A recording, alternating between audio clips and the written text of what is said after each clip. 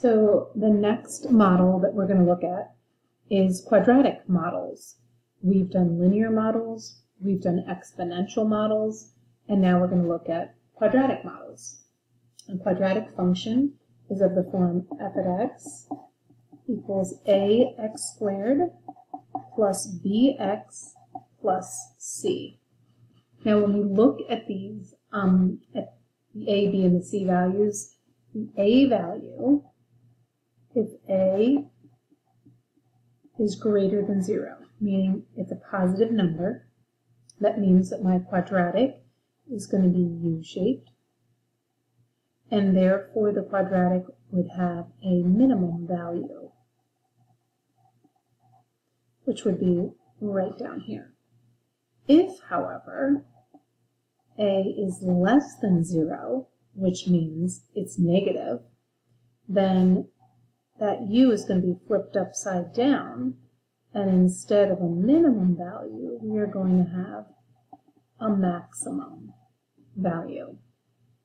Notice that a never equals 0, and that's because if a equals 0, this term would go away because 0 times x squared would be 0, and we would just be left with bx plus c, which is linear. So that's why a can't equal 0 if it's a quadratic.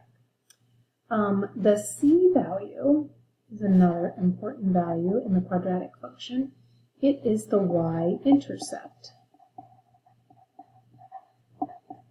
And so the y-intercept is if you put 0 in for x, if I put a zero here, that wipes this term out, and I put a zero here, that wipes this term out, I'm only left with c. And so the y-intercept is 0, c. All right, so let's look at our first example. Let's consider the quadratic function f of x equals 2x squared minus 3x minus 2.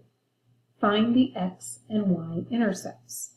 So when you're looking for x intercepts, that means you're going to let y equal 0 because it's where it crosses the x-axis. And on the x-axis, every ordered pair is some number comma 0 because the y coordinate is 0. So let y equal 0. So we would say that 0 equals 2x squared minus 3x minus 2. Now you've got a couple options here. Um, most people would use a calculator and find the zeros. There's actually three different ways to find x-intercepts, also called zeros or solutions. Just want to clarify that many times this question will be asked what are the zeros of the quadratic or what are the solutions that means x-intercepts. There's actually three different ways to find um, solutions or zeros or x-intercepts. One way is to factor. That tends to be the way people don't like um, to use the most. Another way is to use the graphing calculator. And a third way is to use the quadratic formula. On this particular one, let's go ahead and use our calculator.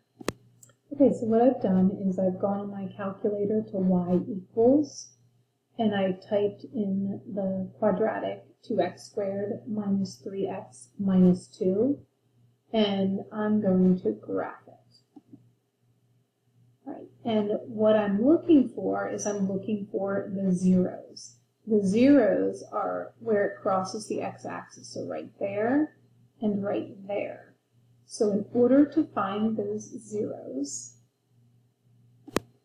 I'm going to go to second trace and I want to calculate the zeros. So I'm going to go down to zero and I'm going to hit enter. Then when you see this, I always call it a spider. When you see this little flashing spider or star or whatever you want to think of it as, um, I need that's going to be the thing that I'm going to move along my quadratic. When you're looking for a zero, the first thing it says is left bound. I need to have the spider to the left of the zero. So if this is the zero that I'm looking for, if I'm to the left, I'm going to be above. So I'm going to use my arrow keys, left and right arrow keys only. And you're going up, but you go left. Now, as soon as I'm above, as soon as I can see that I'm above and to the left, I can hit enter. Then I'm going to arrow to the right, and I'm going to be to the right, and in this instance, below, and I hit enter. I don't want the guess. The guess is not the answer. And I hit enter again. And it gives me the zero, negative 0.50. All right, so one of my zeros is negative 0.50. All right, so now I'm going to go back to my calculator and I'm going to find the other zero, this one right here, by going to second trace choosing zero from the menu. And now I need to make sure I'm to the left of this zero. Now some of you might be saying, well, you are to the left of it. I am, but I'm closer to this one. So what I have to do is I've got to move past that minimum or that vertex and be on the side of the vertex that's closer to this zero. Otherwise, what it's going to do is just keep finding this zero again. So I've got to cross past that vertex. And now if you notice, I'm to the left and below. Now for this zero, I was to when I was to the left, I was above. Um, you have to realize left and right is relative. Um, you and I could be standing next to one another, and you could be on my right hand side. As soon as I turn around, we're still next to each other, but now you're on my left-hand side. That can happen. So left and right are relative terms. For this zero, left is below, so I hit enter. Now I'm going to move to the right. And now I'm to the right and above. I hit enter. And I hit enter one more time. I don't want the guess. And I get to zero. So I'm going to put that answer now on my paper. So 2, 0 is my other x-intercept or 0 or solution. All right, now I want to find my y-intercept. And y-intercepts are found by letting x equal 0 because you cross the y-axis when x is 0. So that makes it pretty easy. y just equals 2 times 0 squared minus 3 times 0 minus 2. Well, all of these just cancel out, and I'm left with negative 2, which makes sense. Remember, we said this right here, this c value is the y-intercept. So y equals negative 2, so 0, negative 2 is my y-intercept.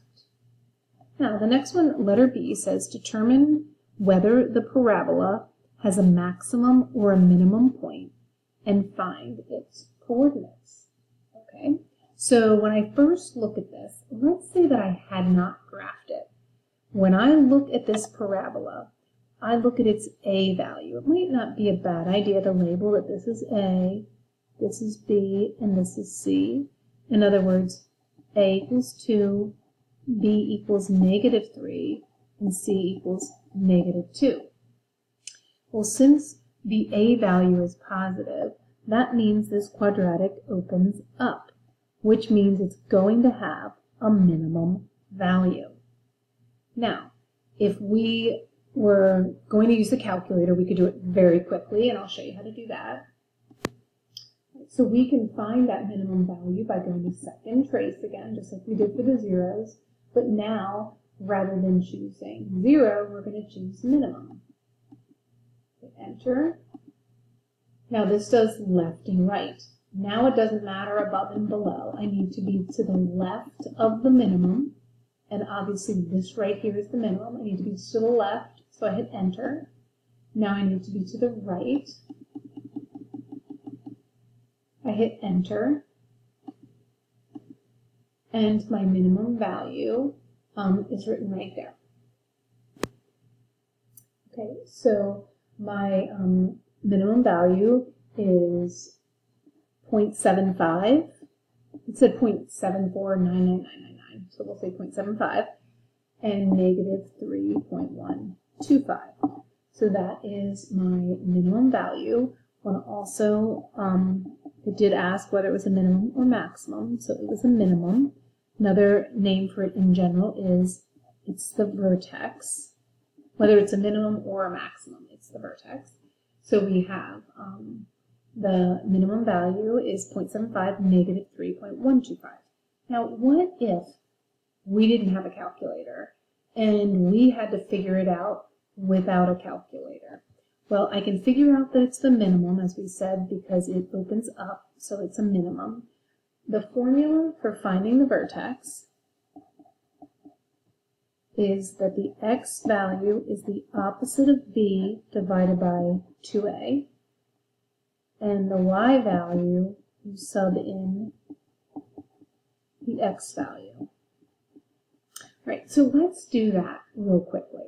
All right, so if we were to do that, I would look back at my original equation, and x would equal the opposite of b, which would be positive 3, because b is negative 3.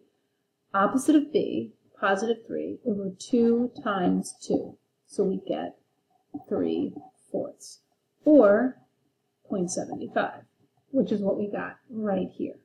Then what you could do is you could take this 0.75, or this 3 fourths, and you could put it into this equation and solve for y. All right, let's go down to learn a little bit more about quadratic models. Let's look at a specific one here. Isaac Newton showed that the height of an object at time t after it has been thrown with an initial velocity v sub 0 from an initial height h sub 0 satisfies the following formula. A couple things that I would like to point out. Um, First of all, this is a formula you're going to be using a lot if you're taking physics. Um, anytime something is sub-zero, that means it's the starting amount. That's before any time has passed. And this is always the formula. G stands for gravity, and gravity is either going to be 32 feet per second squared, and um, or it's going to be 9.8 meters per second squared. And the reason uh, this formula works, I mean, think about it, it's a quadratic that's a value is negative one half. So it's a quadratic that looks like this. Well, anything in this world, because of gravity, when it goes up, it has to come back down. That's why we're going to use this formula when we look at problems such as example two, where we're throwing a ball. When you throw a ball, you throw the ball, goes up, it comes back down. We're going to look at this for problems like, um, you know, throwing things off of a building. When would we ever throw something off of a building? I'm not really sure.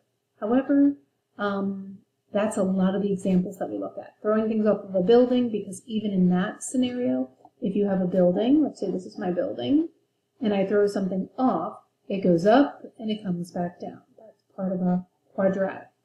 Um, sometimes they'll talk about uh, cliff diving. If you could think of this as the cliff, you jump up and then you come back down. All of these are scenarios that would use this formula.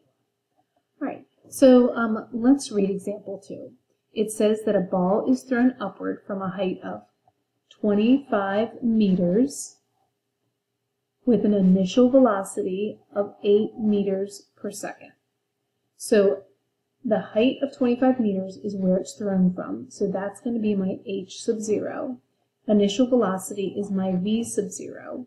Notice both of these are in meters. Therefore, my gravity is going to be my 9.8 meters per second squared.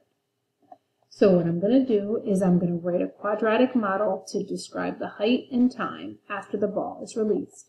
So h equals negative 1 half times 9.8 t squared plus v sub 0 is 18 t plus h sub 0 is 25.